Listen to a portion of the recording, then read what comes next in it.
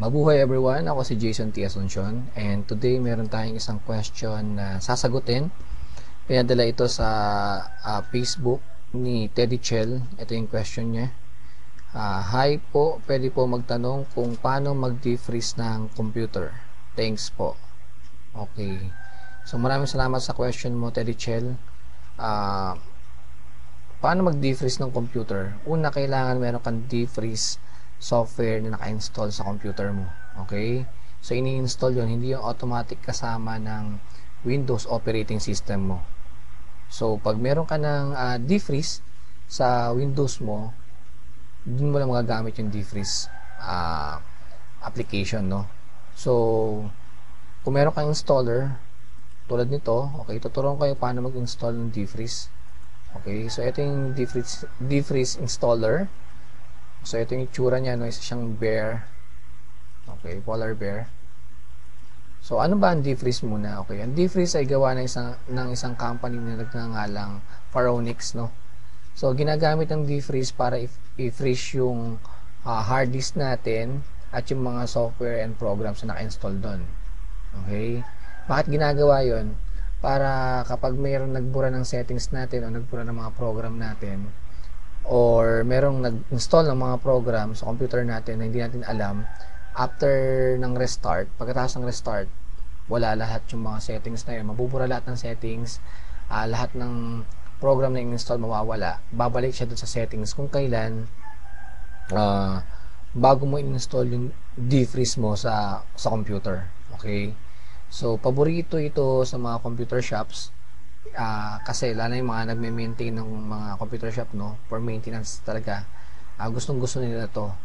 Kasi imbes na magbura sila manually ng mga files uh, at saka lalo na magbura ng mga programs na install ng mga customer nila imbes na gawin nila yun paulit-ulit lalagyan lang na nila ng defreeze yung computer pa, para pagkatapos ng uh, pag nag-restart yung computer lahat ng pagbabago sa settings lahat ng program na nilagay ng customer mawawala. Okay? Yun ang advantage niya, no? Pero meron ring disadvantage yung defreeze. So, pag medyo hindi mo siya inaalalayan, kapag nag-update uh, ang iyong antivirus at naka-defreeze ka, syempre yung prinsipyo nga niya, di ba, lahat ng program na in-install is uh, mawawala o hindi gagana pagkatapos ng restart. So, kapag nakapag-update ka ng antivirus mo at nag-restart, at may defreeze ka, parang walang kwenta. Okay? Tandaan natin na ang isang antivirus na hindi updated ay walang kwenta.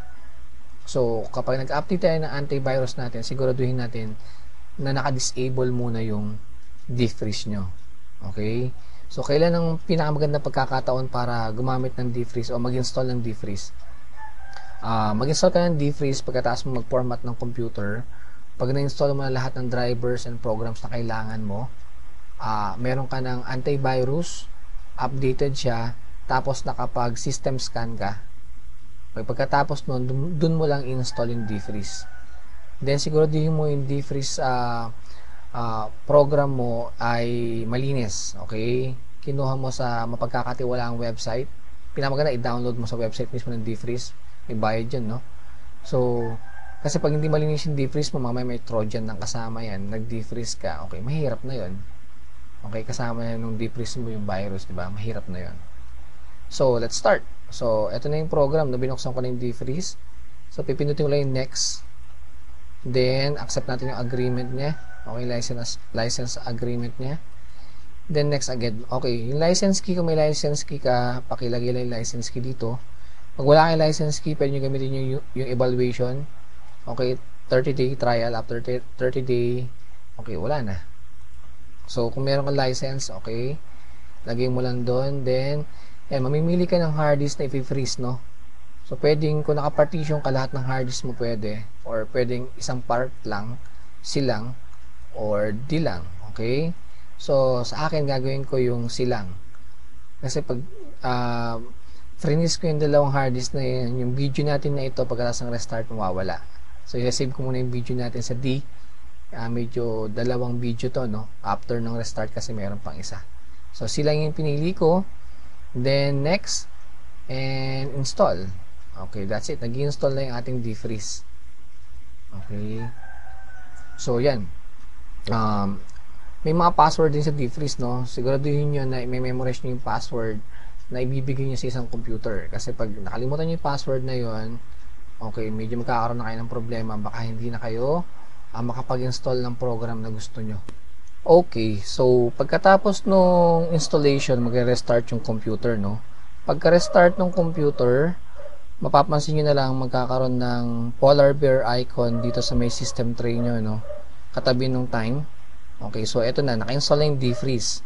So, wala pang password yan. Para lagyan nyo ng password yung defreeze nyo, pindutin nyo lang yung shift, just hold yung shift uh, button dun sa may keyboard nyo, then double click yung polar bear icon yan yung icon ng defreeze. So, lalabas tong uh, dialog box na to. So, enter password. So, wala namang password, di ba? Wala pang password. So, just press OK button. Okay, lalabas to. Okay, isang dialog box na naman. So, yung password nyo, pwede nyo ilagay dito sa may, uh, pinutin nyo lang yung password tab. Lagay nyo yung password nyo dito. Okay, then, i-confirm nyo lang that pareho yan, no?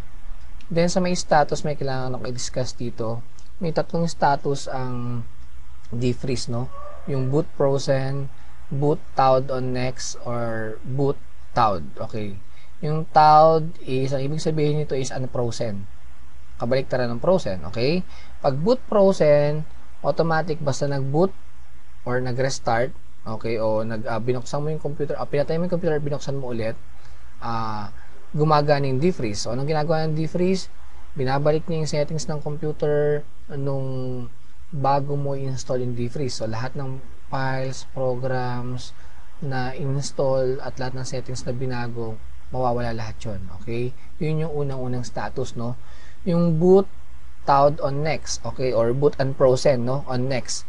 Ito naman, um, tatanggalin niyo yung pagka-freeze ng computer mo. Okay, ito yung gusto mong tanggalin, i-disable yung uh, defreeze mo, pwede mong pinitong boot towed on next, tapos mamili ka kung ilang beses na restart. So, ano ibig sabihin nun? Pwede mong i-program yung computer mo, halimbawa, after 10 restart, after 10 beses na bukas patay, bukas patay, after 10 beses na ganun, uh, babalik na sa uh, sa pagiging frozen yung hard disk mo. Okay? So, pwede mo i-program na ganun. Or, kung gusto mo talagang i-disable yung defreeze mo, yan, boot towed na lang. Automatic, disable na yung uh, defreeze mo. Okay? So, malaking kaibahan itong boot towed on next sa boot towed, ah. Okay. Towed is unfrozen nga, no? Ito, pwede mong sabihin, yung boot towed on next, pwede mong uh, sabihin kung ilang um, restart ang kailangan mo para bumalik siya sa pagiging frozen. Pag itong boot out talaga, ito na yung disable niya. Okay? Uh, lahat ng pagbabago ay mangyayari lamang pagkatapos mong pinutin yung apply and reboot. Okay? Pag nag-apply and reboot yan, pagkatapos nun, dun pa lang lalabas yung bagong settings mo at sa yung password mo. Okay? Huwag kakalimutan yung password. Napakahalaga ng password dito. Pag nakalimutan mo, malaking problema na yan. May hirapan ka na mag uh, install ng bagong program. Okay? I hope may natutunan kayo sa video tutorial na to. At muli, ang tutorial na to ay tool lamang para matuto tayo. Kailangan pa rin natin ng teacher or ng mentor para mag-guide sa atin. Hanggang sa muli, kita-kita tayo sa next video. Hintayin ko mga question nyo. Thank you and God bless.